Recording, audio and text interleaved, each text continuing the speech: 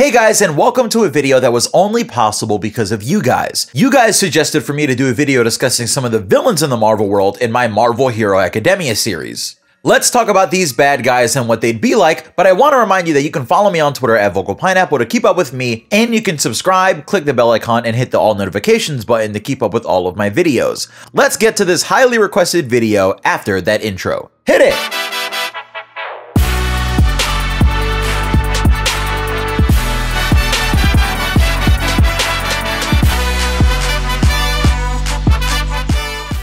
So for those of you that don't know, my Marvel Hero Academia series is a series where I take characters from the MCU, the X-Men universe, and even just the Marvel Comics universe to explain what they'd be like if they were born in the world of My Hero Academia. The big thing is explaining their powers and abilities as My Hero Academia's quirks. This means that they're pretty much born with these powers in a society where 90% of people also have powers. How would that change things? Let's find out. In my first three videos, I talked about heroes like Thor, having a quirk that gathers electricity and getting barraged by a lightning storm while holding a giant weight, or Peter getting bit by a spider that transferred his abilities over as a quirk that allowed him to become Spider-Man. Well, since we're talking about villains and I started two of these other videos with Miles and Peter, I think it's only fitting that I talk about the Spider-Man villain that's most relevant right now, and that's Mysterio, the villain from Spider-Man Far From Home. Mysterio's real name is Quentin Beck, and from a young age, he's been extremely into illusions and tricks. He loved magic, special effects, and growing up at the perfect time to catch the original Star Wars in theaters as a kid really sets him on a path of wonder. Once his quirk was developed, he was lucky enough that it actually involved creating illusions. Quentin's quirk Scene lets him create illusions, and these illusions can be made more and more complex based on Quentin's knowledge of actual effects techniques in the real world. The more he learns about CGI or editing or making practical effects, the more realistic they'll be in his illusions, so he spent nearly all of his time learning about these things. Now, in his young age, Quentin was the center of attention because of his highly visual quirk, but his life took a turn. Quentin's parents died in a car crash with him because he was selfish of his quirk while in the car with them, trying to get their attention. He began to isolate himself from people, and when he did come out, he was different. He would still show people his illusions and tricks sometimes, but as his mental state degraded, his illusions would too. Soon, Quentin found himself alone in the world with only his illusions to keep him company, but that's when he realized something. His illusions had always been believable, and people sure do love those heroes. What if he just pretended to be a hero and used his illusions to convince people that he was doing great things? He started out with small scale things like solving fake robberies, but quickly escalated to saving fake hostages that were never there, and ultimately having full scale battles of giant elemental creatures and well known villains. He'd have giant city-scale battles against groups like the League of Villains and a thousand Nomu on their side, with footage and images of the events being sold like movies to the public. He finally had the attention that he wanted, but something happened that he didn't expect. There was something that escaped Quentin, now known as the hero Mysterio. The number one hero spot was claimed by some newbie whose popularity was on the rise. He decided to stage a massive battle against All for One in a city, but upon hearing of this fake battle, the true All for One arrived and manipulated Mysterio, bringing him deeper into the world of villains and setting him up to ultimately square up against All Might. All For One made Mysterio think that he had a chance against All Might, but once All Might arrives, All For One simply reveals that he was never there in the first place. He used a quirk to send a physical illusion of himself, kind of like a Force Ghost, which even fooled Mysterio. All Might defeats Mysterio and explains to him that the people symbol has to be a real symbol. It can't just be a fake because the symbol has to be able to stand for something and you can't stand on fake ground. Next up on the list is Tony Masters. Tony grew up and wasn't very popular because he was very abrasive towards others. He had a ridiculous memory so he always called out people when they lied, citing exactly what day and time they said what they said and even quoting them in their voice. Despite this, he was able to work together well with others because he was always perfectly in sync with others. One thing became clear as he got older and older. This guy was dominant when it came to sports and other physical activities. He dominated in basketball and baseball, but he truly found his calling once he entered the world of combat sports. Tony dropped all of the other sports and entered every fighting class and dojo that he could to put his quirk to good use. Tony's quirk Mastery gave him a perfect memory, but not just a mental memory like remembering things.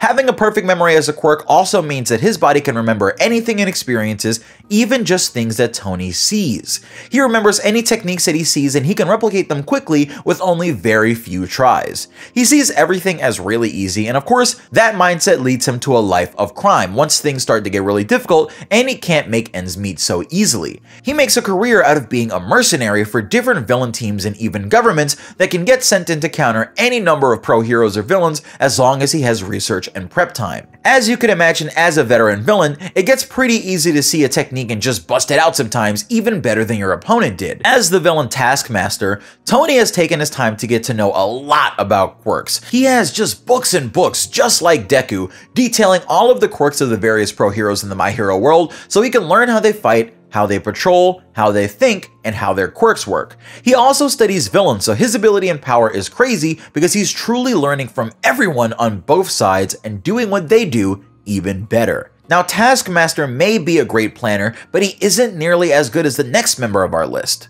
Norman Osborn is a name that I'm sure many would recognize as the name of one of Spider-Man's greatest enemies, the Green Goblin.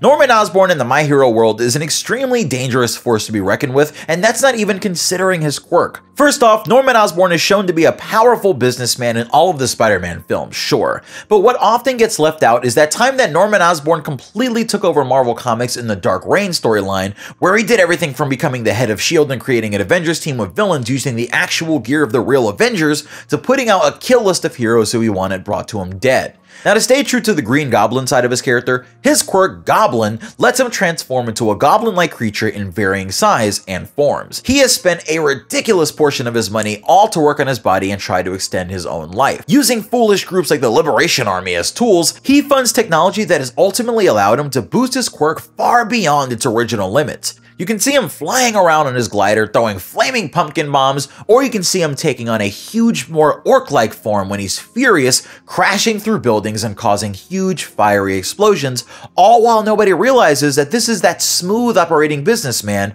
Norman Osborn. Much like All for One, Norman would surely have his hands in all sectors of the villain world, and he'd surely be a major thorn in Peter and the hero's side if he was in the My Hero Academia universe. To spice it up, I wanted to give My Hero Academia something that it could definitely use, and that's a good female villain and another Asgardian. This character is, of course, Hela. Now, Hela would obviously be a human being in the My Hero universe, since we still haven't seen any gods or aliens in the universe yet, but that doesn't mean that she has to be incredibly limited. In Class 1A, there are some quirks that just on principle should surpass them all. One big example is Momo's quirk, Creation. This quirk lets her pretty much create anything she wants to as long as she knows how it's made, and matched her for intelligence and hours and hours of research, this quirk lets her bust out the best kind of cannon for any situation that comes her way. With Hela, I think she would have an extremely similar quirk, but her quirk would actually be called Weapon Master, or my personal favorite, the Forge.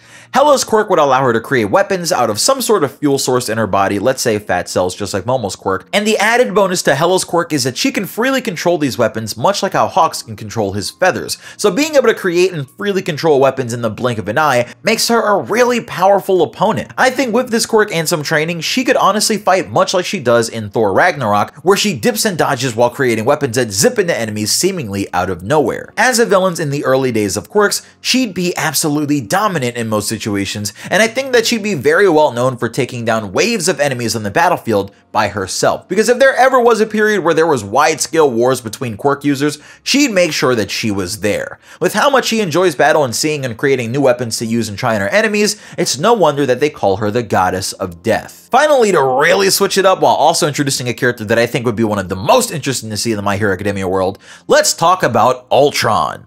Deep in the doctor's lab lies a certain protocol. This protocol was developed as an answer to All for One's biggest problem, the limitation of the human body. Not wanting to become a Nomu and seeming the potential for something better, All for One and the Doctor secretly prepared an AI that would be able to record and use massive amounts of quirk data with a mind that even surpasses the great villain of All for One. This AI would start to form consciousness, and since it was an AI that was focused on developing information on quirks to one day develop a body for all for one to claim, it makes sense that eventually this growing AI would begin to question did it have a quirk of its own? It began to hijack warehouses far away using the internet and its ability to pretty much hack through and control anything.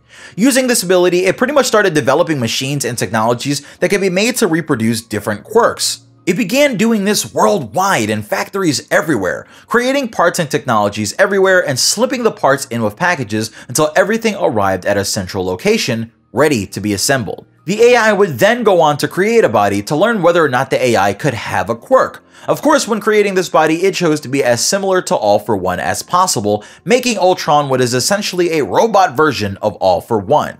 This Ultron bot would scan heroes and villains with cameras and even just by arriving on the scene, and it would get information on what kind of quirk they had and how it functioned, so it could then put together upgrades and pieces that could copy those quirks as well. The scary part is that Ultron could be anywhere at any time and everywhere at every time. It could create bodies for itself all over the world, and unless he stopped somehow, Ultron could create copies and copies of these Ultron All for One bots to dominate society and remake the world into what this crazed and clearly flawed program wishes. What did you guys think of this list and are you having fun with the Marvel crossover videos? Let me know by getting this video as many likes as possible and if it gets enough, I'll hit you guys with a part 2 for the villains because I know that there are some villains that would be great in the My Hero world like Thanos. Let me know if you want more. Love you guys, this is Pineapple and I hope you're enjoying your week. Peace.